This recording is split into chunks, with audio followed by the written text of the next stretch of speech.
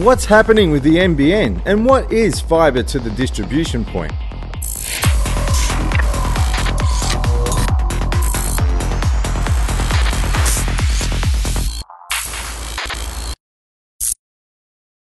Welcome to Vertical Hold, the tech show where we channel surf through the headlines in the search of the big picture.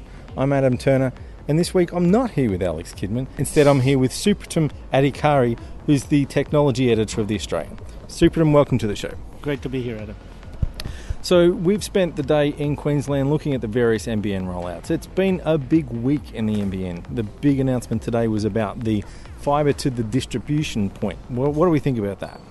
Well, you're right, Adam. It was a very big week uh, for the NBN, and it all kick-started with a very, very, with a very furious exchanges between Bill Morrow and uh, Yes. Stephen Conroy the Senate Very Estimates. Committee.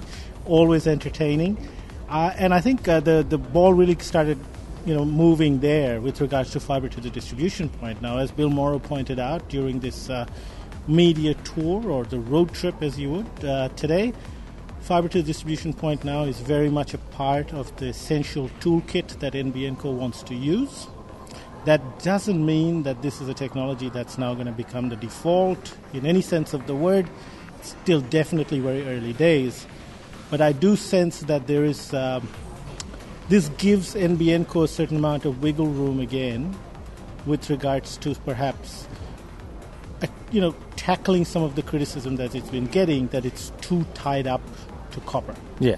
So, in a nutshell, fibre to the distribution point falls somewhere between fibre to the node and fibre to the premises, but it's actually closer to fibre to the premises. It basically, it's fibre to the footpath. It and really then you is. just use your It- phone it, line It for really that is. last I think in the simplest term, what it is is Yeah. this is essentially driving that bit of fiber, you know, as close as you can to the premise.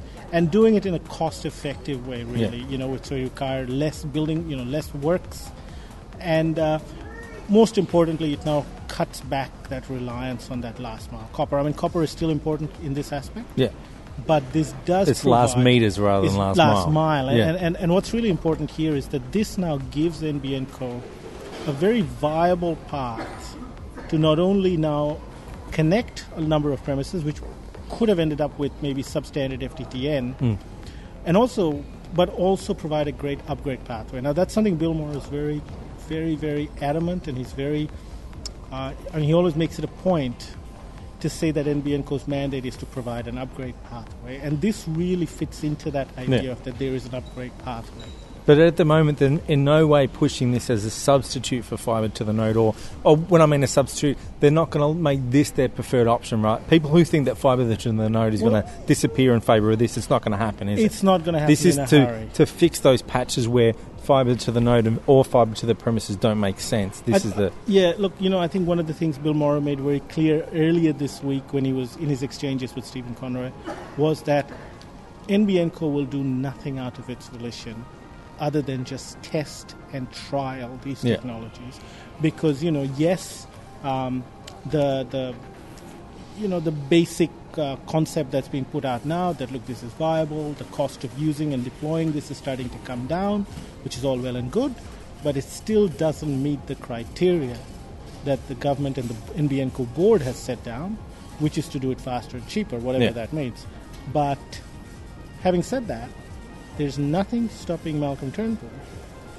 from announcing the election and then after that, either after winning an election potentially or prior to go, getting into an election, yeah. saying that NBNCO will make fiber to the distribution point at post 2017. Fiber to the distribution point becomes the default rollout Yeah. methodology. That, that that's a big change. That's a because well, fibre to the node you can connect three, four hundred people to a node. Fibre to the distribution point is basically the pit in the street. They're talking about having a two-way or a four-way splitter in there, so it is a big change to the design of the. the It is, the it is, and I think the that- way you hook people up. And I think that's what NBN Co is saying at the moment Yeah. that it's far too early to hedge your bets. And They're saying maybe three hundred thousand premises, and it Yeah, would just be they pick those ones. We'll say in a regional area where it's too hard to run power out there to a node. Pre- fiber to the premises doesn't make sense. This is because the thing about fiber to the distribution point is it can actually take its power from the house that it's supplying. That's right. Which is why That's it's got to be nice and close. That's but so right. then you don't have to spend a lot of money getting power out to That's this right. thing. Yeah. That's right. And and look, I think best case scenario post 2017, maybe fiber to the distribution point can be the technology that weeds out some of those really really horrible FTTN areas. Yeah. you know, and areas that would have been consigned quite clearly to a substandard service. Yeah. And I think there's a there's a good chance, or at least um, the language coming from NBN Co today seem to indicate that they are very committed to using this technology, at least from that perspective. Yeah. But is it going to be default? I, I mean, at the end of the day, as Bill Morrow said, that uh, NBN Co can do nothing out of its own volition. It has Yeah. to take directives and follow orders from its lord and master, which I guess for all intents and purposes is Malcolm Turnbull. Yeah. So we also heard a bit about HFC. They're about to turn on their first HFC area in Queensland. But the, the language they've been using about HFCs changed a little bit.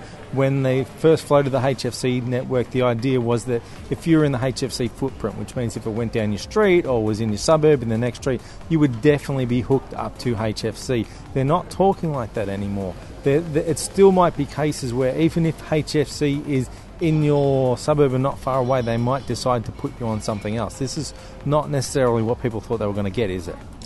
No, I think there was some confusion about that. You know, I think NBN Co made it clear a little while ago that uh, there will be some pockets of areas where you know the HFC would not be either fit for purpose, or essentially these are some of these areas where neither the Telstra nor the Optus footprint actually has gone the full way. Yeah.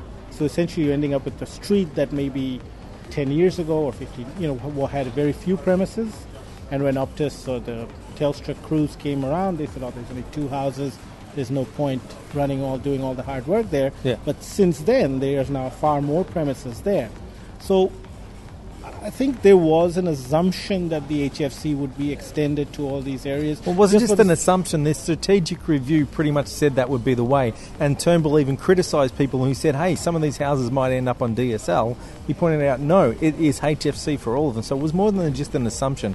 We were pretty much told that's the way it was going to be, but it's well, not the way you know, I think one of the things we know since Malcolm Turnbull came on board, and, and you know, as the communications minister, even before his ascension to power, was that this whole technology agnostic mantra that's been pushed very hard by Malcolm Turnbull and NBN Co. has really always been about providing this sort of flexibility, and as I said earlier, some wriggle room. So I'm sure that if you mentioned it to Mal- Malcolm Turnbull or to NBN Co, as, as uh, some of us did today, uh, the answer you're going to get is that at the time of the strategic review coming out, there were certain assumptions in place made by NBN Co, made by its consultants, and obviously, as they hit the ground, those some of those assumptions don't match. And I think that's what NBN Co is trying to do by saying that instead of guaranteeing any service, there could potentially be cases. Now, you know, in some cases, uh, by their own volition or by their own admission, it could be FTTN, hmm. but it could also be F- FTTP. Yeah. I mean, there might be a scenario where it's actually more cost effective to run the full fiber straight into the premise or into the MDU. So I think what we might see a lot of these infill areas be, we could end up with a lot of fiber to the basement. You know, there's Yeah, that was the big one they were saying Yeah, there's a strong possibility we're going to see that. for for large premises, uh, like multi-unit places with a Mm. hundred place, a hundred dwellings or whatever, that will be the option to go, and that kind of seems to make sense. Yeah, I mean, at the end of the day, what's really important for us to understand is that NBNCo needs to connect as many premises as it can, simply because it needs to start generating some income. Yeah. It needs to start generating a revenue. Now, it is on an upward trend, which is to be expected, but it's nowhere near fast enough to what where we really should be at this point. Yeah. So there is a huge deal of pressure on on Bill Morrow and, and his team to make sure that homes get connected.